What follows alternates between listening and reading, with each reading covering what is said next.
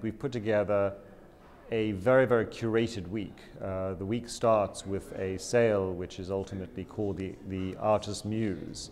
And the idea behind it was really to look at artists and to see what was their main inspiration, both in terms of their models, but also what is the main core idea behind their work.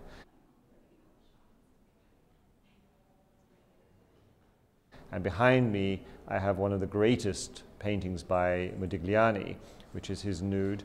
Um, it's one of his lovers. It is an extraordinary object, both in beauty, but it also comes into the marketplace at a time when many of our collectors, there's a pursuit for quality, there's a pursuit for excellence. And when stock markets and the other markets are all in volatility, the art market has shown itself to be very strong.